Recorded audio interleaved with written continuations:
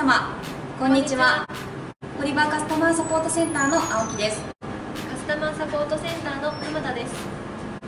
日頃は堀場製品をお使いいただきありがとうございます。本日はどのようなことをするんでしょうか？はい。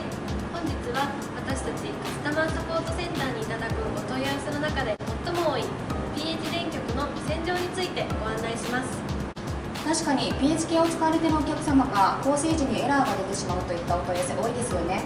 そうなんです。実はこの場合 PH 電極の洗浄や内部液の交換をすることによりエラーが解消される場合が多いんです。なるほど。そうなんですね。はい。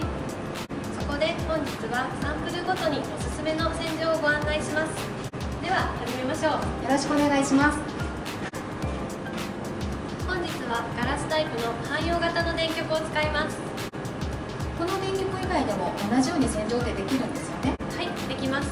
他にもロングタイプやマイクロタイプの電極がありますが同じように洗浄していただけます。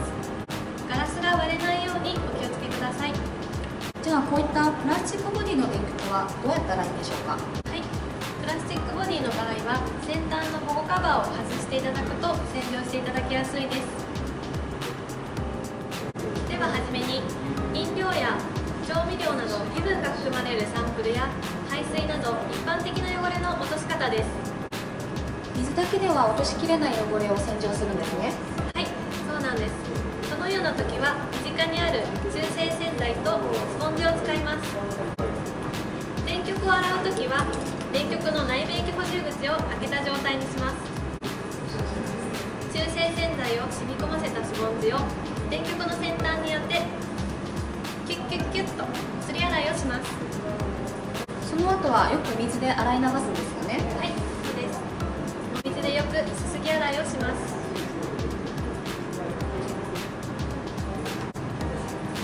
こういった市販のメラミンスポンジも使えるって聞いたんですけどどうやって使うんでしょうか？はい。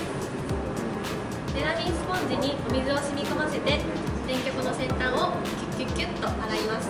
なるほど売り場にも洗浄液って販売してるんですよね。はい。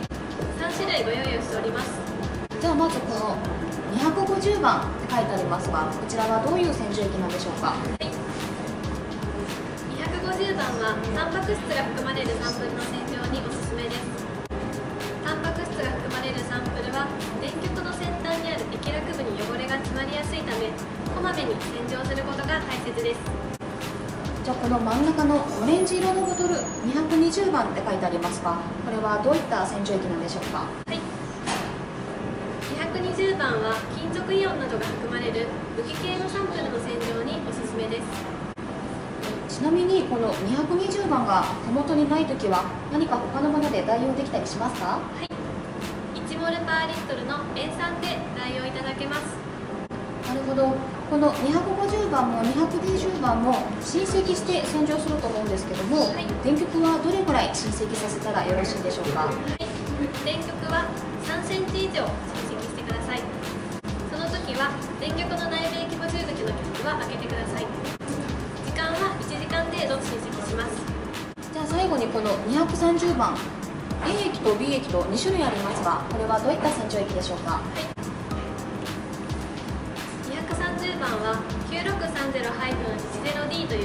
いう浄水用の電極用にご用意をしております。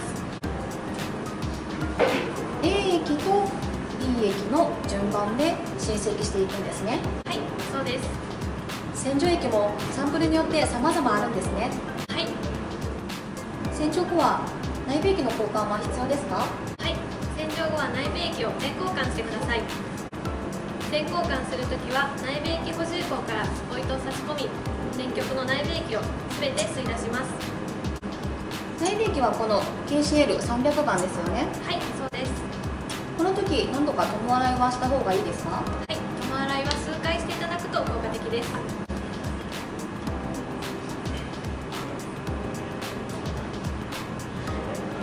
っかり内部液が入っていきますね内部液が入った後保管はどういうふうにするんでしょうか？はい。保管は専用の保管キャップでします。保管キャップの中にスポンジが入ってますのでそのスポンジにお水を染み込ませて湿潤状態で保管をします。保管をす時は内部液補充口を閉めます。この時保管キャップの中の水はたくさん入れても大丈夫ですか？保管キャップの中にはたくさんお水を入れないようにお願いします電極の内部液が濃度変化する恐れがあります。お水に浸積をして保管をするときは内部液補充口を開けてください。なるほど洗浄や保管方法ってすごく大切なんですね。そうなんです。構成の時にエラーが出てしまったり固定の時に値がふらついてしまった場合は本日ご紹介した洗浄や